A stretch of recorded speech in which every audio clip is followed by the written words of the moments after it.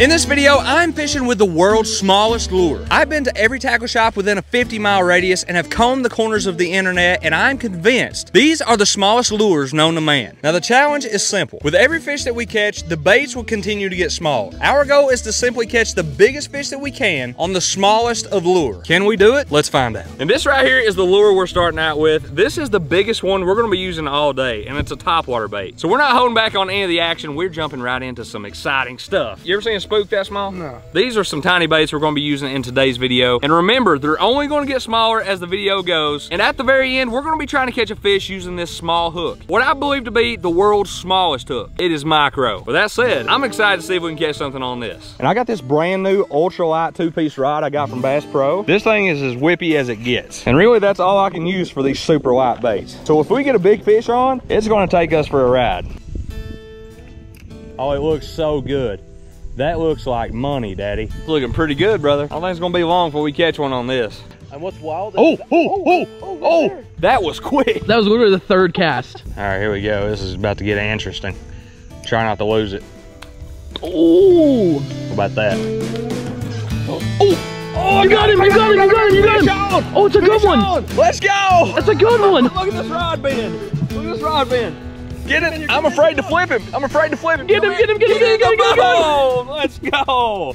I knew if I got it up under that tree, we would catch something. Dang, brother, that was crazy. Did you get that on video? He smoked it. That I got it. All right, we got to be careful here. I don't want to get smoked with a treble. So the biggest lure in this challenge is officially knocked off. Exactly. Now we're about to move on to something even smaller than this. And our ultimate goal is to catch a big fish on one of these small baits. That right there is the first one. That's not the biggest one we're going after. By golly, number one is down on the little spook. Let's get him back. There he goes. Let's freaking go. Can I make another couple casts with this before we move on? You can, come on. Okay. Right here's a fish. Guarantee it. No cuts on this video. Ah, freak. There's a cut. Right here's a fish. No cuts on this video. Let's see if it happens. Oh well, not the direction I was going. Watch this. Still gonna be a fish. Oh, you got it, you got it, you got it, you got it. Let's go. That's not even, that's a bluegill. Oh, it's a bluegill, get him. Yeah, it's a blue, some kind of bluegill. Let's freaking go. This thing is awesome, brother. that was crazy. That little spook is deadly in general. Oh. oh Whoa. Oh, oh, oh Forget the challenge. You should just use that spook when you're microfishing. I'm telling you, brother, that thing is deadly. Check that out. It's a nice little hybrid. Here we go. We're gonna turn her back.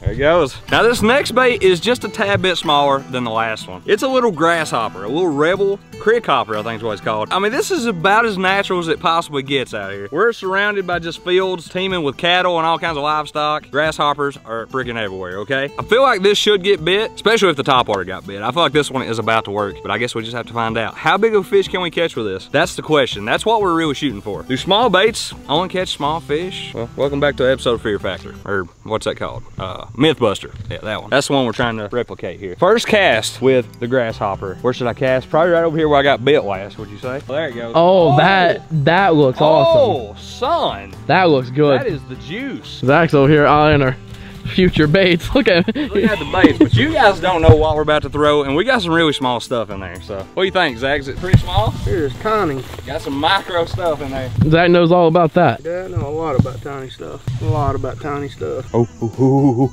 Bluegill, bluegill. Oh, did you see that Kager bluegill? Did you see that? It sounds like a 22 going off when you cast that thing. You gotta whip it out there, brother. Watch this. Watch how much power I gotta give this, and watch how far it goes. Didn't even make it to the bank. Oh, oh, oh, oh, oh, oh, they're hitting it on top. That one hit it on top. Bro, top water is on right now. Oh, oh, oh, oh, Oh, he got it right there. He got it, he got it. Oh my God, oh my God. Giant, get him. Get him in the ball, let's freaking go. Oh my God, did you see that? Dude, he came up and literally swiped Oh it my- right there. Look at that. Now, is that a pure bluegill? No, that's a hybrid. Look at that, guys. Two hooks right in the mouth. Grasshoppers do not stand a chance against him. This is the place right here for the grasshopper. Big bluegill, big panfish in here.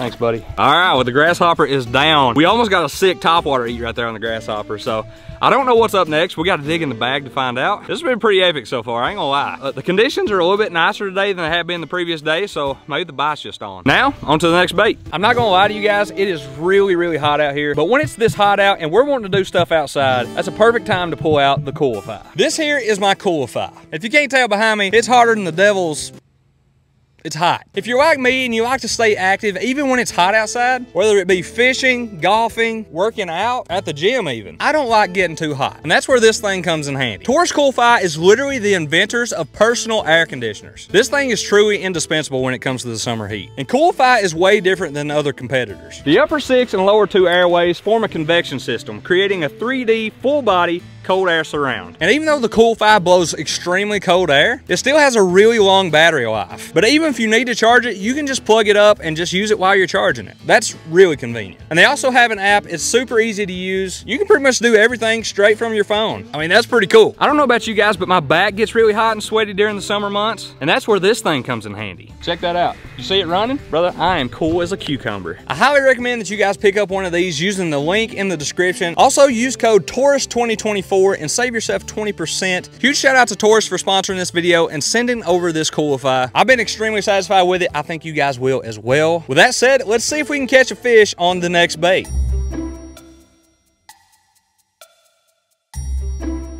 We're here with, Brian Melbourne. what's your PB? I've caught him up to 13 pounds. Oh, you caught a 13 pound bass. Yeah. Oh my God. Do you think we could catch a five pounder on this? I do not. Yeah, that would be more like a goldfish. No, I doubt it. Not a chance. No chance. No, Not a shot. no hope. That's brutal. It's gonna be hard. No chance. Is it just too small? Yeah, it looks too small. People don't believe in us, all right? People don't believe in us. We got people out here says they've caught 13 pounders, eight pounders. They don't think that I can make this challenge happen. Literally, they said you can't do it. Goldfish. Uh, that would be more like a goldfish. You know what I mean? They don't know that I am fishing with Tate. And if fishing with Tate knows how to do anything, it's how to handle small items, small things, okay? I can take small things and I can work wonders. But we've got a long way to go in this video to prove them wrong. We're gonna be out here slinging the macros.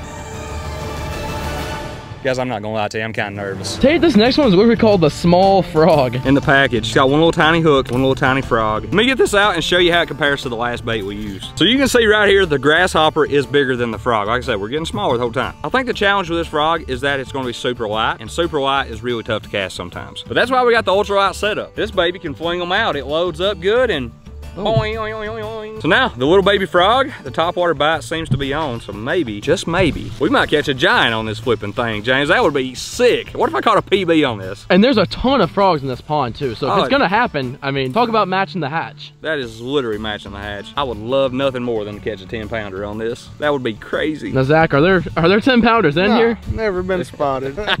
Never been spotted. That is until today. I've never been spotted, Daddy. It's just kind of like uh, Bigfoot. He ain't never, well, actually, Bigfoot has been spotted. Anyway, for the purposes of this video, there is 10 pounders in here, and we're about to catch one, so. Or should I just put it straight through and have it coming through the back? Well, they, or you could nose hook it. Yeah. Ooh. Something comes up with short strikes, it's over. Let us know right now, am I gonna lose this frog before I catch something? The chances are above zero. Oh, Oh, I casted it. Here we go. This might just work. Is there any action at all? It doesn't look like there's any action. It's a dead baby frog. The wind's just pushing it across the top. I am trying to impart any action on this that I possibly can because God knows they ain't a bit that's coming from it naturally. They took used rubber off an old tire, put it in a mold and said, let's make a lure. Threw some spray paint on it. they have eyeliner on that baby and said it's gold. I mean, it's pretty cheap. I feel like it was like a dollar, wouldn't it? Might honestly be too much for it. this might take a bass top topwater bite, Eddie. I see what you're doing now. You're just spamming it in just Yeah. to try and make sure they can't see it too good. There is zero action in this thing. Maybe if I just work them out a little bit, maybe. You're trying to stretch them? Stretch them out. Oh, I wonder if you put them in like boiling water. Oh! Brother, you worked them out. No wonder this is stiff. If they would have started moving, they'd have come off, you know? Good grief. the GoPro was on. I was barely moving them things, so to be honest with you, kind of speaks to the, the quality of this lure. I don't think that hurt the action at all. I don't think that hurt it at all. It might have helped you. It might have. So we've caught some fish on our small baits up to this point. But the thing about this challenge is not only are we progressing in the size of our baits, meaning them getting smaller, it's also making it harder on ourselves to catch bigger fish. And the further we get into this challenge and don't catch a big fish, the less likely it is that we're gonna prove everybody wrong. No, no chance. If you guys would, drop me a comment right now. Don't give up, Tate, because I'm not going to give up.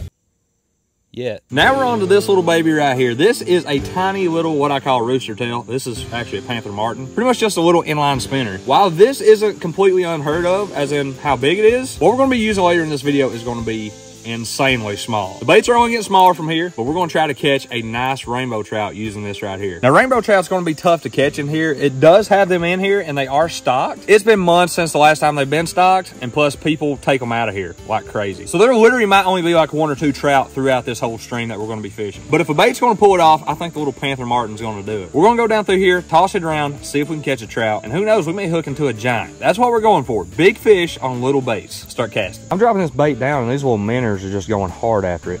I could just about catch one of those. This water is absolutely frigid. This is August, so everything's really hot still. It's really humid out. But this water is probably what, like 40, 50 degrees? So here we go, first cast.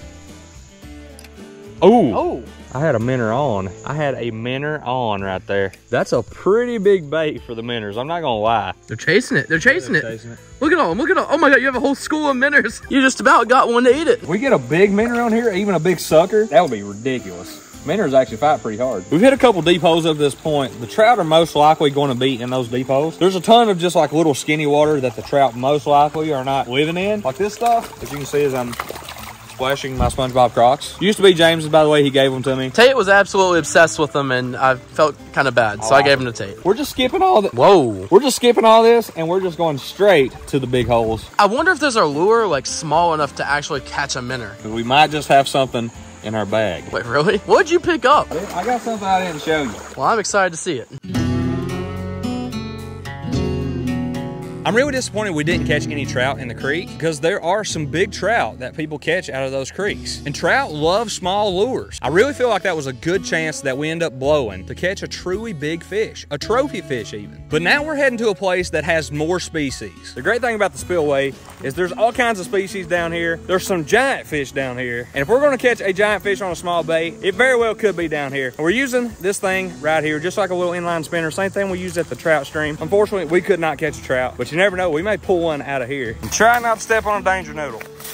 Oh, I thought I was got, brother. Man, it is steep. Look at that. Brother, if you could find a way to get down there that's not through the freaking mountains. Doesn't look that bad right there. It's the it's the ascension up. Well- us bigger guys, you know, it's gravity is not our friend. This trail is not made for big daddies. Big daddy's not made for this trail. All right, we're rolling up to the spillway. Spillway looks nice. The water's kind of low. I've said this in past videos, but one of the biggest fish I've ever hooked was right here in this spot. I did not get him in, and I hooked him on this right here, a little inline spinner. What's that? Looks like a big old catfish hook looking thingy. Somebody is fishing for something big. That's what we want to catch. Exactly. Looks like somebody has got a trout line set up here, maybe two or three of them. We're not gonna mess with them, we're gonna leave them be, and I'm gonna try to not get this thing hung up. You can actually cast this sucker pretty good. This one does have a little bit more weight, but the overall profile is smaller. Oh, right there, oh, there it is. There it is, get it in the boat. Let's freaking go right at the bank, baby. Oh my God, that dude smoked it out of nowhere. That was an epic bite. He destroyed this thing. He choked it, look at that. How about that, guys? Nice little bass. We had to do a little bit of surgery on him, but he's gonna be perfectly fine. Hooked him in the tongue. All right, there you go. Okay, there you go, he's good. Right there on the little bait right at the bank. So that has got this one knocked out. Now we're on to literally the smallest bait I've ever thrown. I've thrown this in the past, and this thing is so small, it only has room for one treble hook. And don't forget, we do have more to go. So I'm gonna throw baits in this this video that I have never thrown before, and it's gonna be personal records on how small they are. Think there's anything in here to eat that? What what is that? Like a, a quarter of a foot diver crankbait? That's like a little nugget. We're gonna throw this little guy around. It's got a little baby bass, I believe, pattern on that. It looks pretty cool. Now, how's this thing gonna run in the water? That's the big question. And our goal is to actually catch something really big on this. Let's start giving it a dangle. How does it swim? I can't even see. Oh, oh, okay. Eh, It swims okay. If you reel it just the right amount, you're gonna be fine. But if you get too fast, it's just gonna blow out to the top.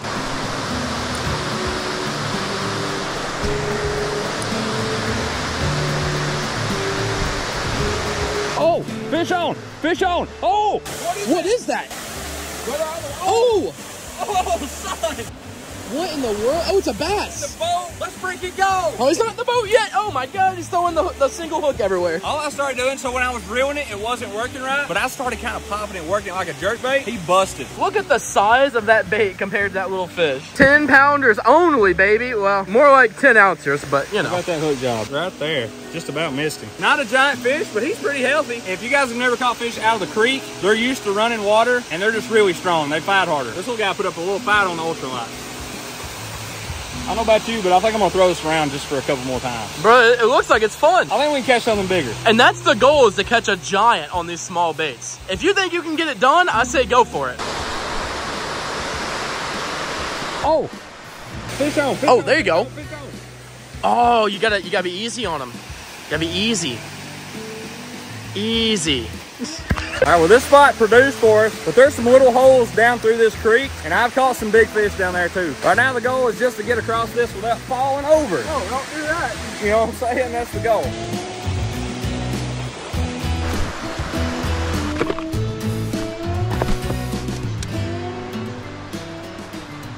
Oh, oh, oh. Oh, did you see that? That was crazy. Brother, it was right when I switched it up and started reeling. That bass come out of nowhere. I've had a ton of bites on this thing, and even though I've already caught a fish, I really want to catch another one because I've got tons of short strikes. I really feel like this could be a good bait to use out here at the creek, and fish are interested in it. Fish on. Fish on. What is that? He just barely got a hold of it. That looks like a green sunfish or some sort of hybrid. These things actually kind of look like bass with their mouth. Look how big their mouth is. And they are literally some of the most aggressive fish out there. That's why he ate this. There we go. We caught actually two fish on this, and I thought this would be a tough bait. I thought it was going to be tough, but it was easy. Next spot. James, it ain't about the mountain. It's about the climb. Bait it, James. I'm in four low. I'm still spinning my tires. This next rig is pretty unique. And of course, it's even smaller. This is a sabiki rig. As you can see, there's no plastic on it. I guess this isn't plastic. It's like some kind of like little plastic, I guess. But it's just super small. And I think our best chance to catch something on this is probably right here at the creek. As you can see, it's a pretty simple rig. But what makes this thing so unique is that it has a bunch of baits on it. And this one literally has like five or six lines coming out from the main line. The baits are still small, but they're just all connected. It's kind of like a A-rig of the micro fishing world. So we got the sabiki rig down here at the creek. Now we have a chance at a giant sucker, a big chub minnow, and we even have another shot at a trout. And I would love nothing more than to catch a trout on this, but we don't know what we're gonna catch, so we might as well start throwing it. And that could be interesting. Oh, it casts pretty good. Is that it? Come- Oh, yeah, it is. Oh, they're chasing it. Those little pieces of flash on there, Yeah. I guess kind of look like little insects or something like that. That's what they eat. They're about it. There's actually some bigger ones over here. There here. are some bigger ones. Oh! Oh! Oh! oh Do you have oh, one? We got it! Oh, get him, get him, We get him, get him! it. Let's freaking go! Dude! Oh man, well that took honestly a little longer than what I thought. Hooked him right through the nose though. That's great. Just Right couldn't there. stand the sabiki rig. Nice little chub. That's not a bad one at all. Not a bad one at all. That's about probably like eight inches or so. And we'll get him back. But now, Sabiki rig is off the list. We're moving on to the smallest bait of this challenge. You guys are not gonna believe this. And now it's time to break out the smallest bait that I've ever seen. This right here is a size 22 hook. I'm willing to bet that most of you have never even seen a bait this small, probably never even conceived anything like this in your minds. Needless to say, this is gonna be an absolute challenge. And remember, we're trying to catch the biggest fish possible. And now we're on our last leg. This is the last chance that we have. And if I were to catch a giant fish on this tiny hook, my life would be complete. I don't think that I could do anything else in life. Becoming president would not even top that. This is what we've all been waiting for. Right here's the hook that we're about to use and try to catch a fish. Right here is the plastic that we're gonna use. Now you might be thinking, well that plastic isn't unbelievably small,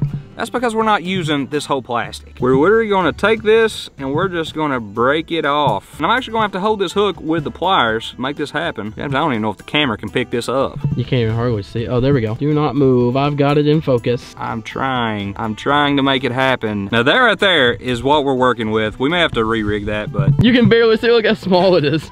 James, that is tiny, is brother. tiny. The truth is, I don't know what we're gonna catch with this. And by golly, I've just got enough time on my hands to try to find out. I'm gonna be casting this thing around. We might have to add a small split shot. That's not part of the bait. That is part, that's just weight. Because it's gonna be difficult to cast this thing. And the only line that we can fit through the eyes of these hooks is two pound line. And the two pound line barely even fits through there. It's close. It It's is really like close. a one to one fit. We're gonna get this thing rigged up and start casting, see if we can catch one. All right, here we go, guys. We have got the little bait on this rod. This is the first attempt at casting it.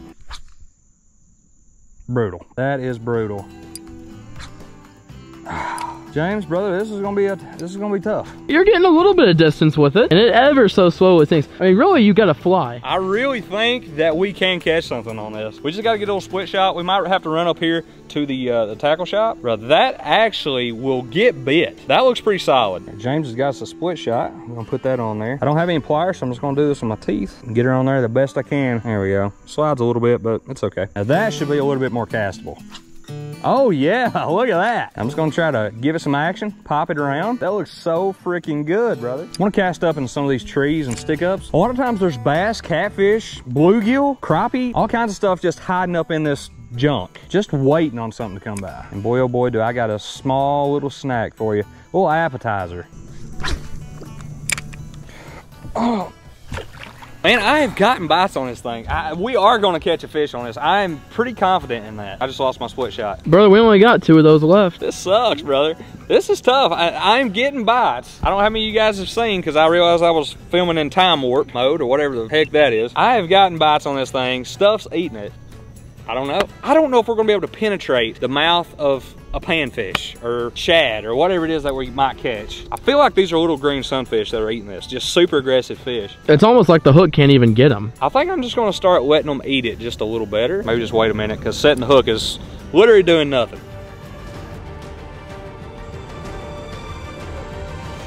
Oh, oh James! Oh, you got one? Got one! Oh my God. I got one! Oh my Dude, god! Oh my god! It's a bass. There he is. Oh, oh! I gotta be careful. I Gotta be super careful. I did not do a hook set. Oh, I got him! him! I got him! Oh my god! Let's freaking go! Dude! Let's freaking go! He swallowed it, James. That is the only reason that we caught this fish. He absolutely choked it. He went for the little micro wacky rig. Are you kidding me? Guys, I've got so many bites on this bait. I think it's all been panfish up to this point. I can't believe that we just caught a bass. This is not the giant fish that we've been going for throughout this video, but you know what? James knows all too well. Size, does it really matter? Probably not. It's a fun time on an ultralight setup, a little tiny hook. How many people can say that they have caught a fish on a size 22 hook, much less a bass? This is a largemouth bass. This is not a goldfish. That's essentially the same as catching a 13 pounder on a regular hook. I mean, I'll take it. I feel like I proved all the haters wrong. You guys comment down below if you think just that. Hope you guys enjoyed this video. Make sure to click right here if you want to see us fish a tournament with a Dollar General rod. And YouTube really thinks you'd like this video, you should check it out. We'll see you on the next one.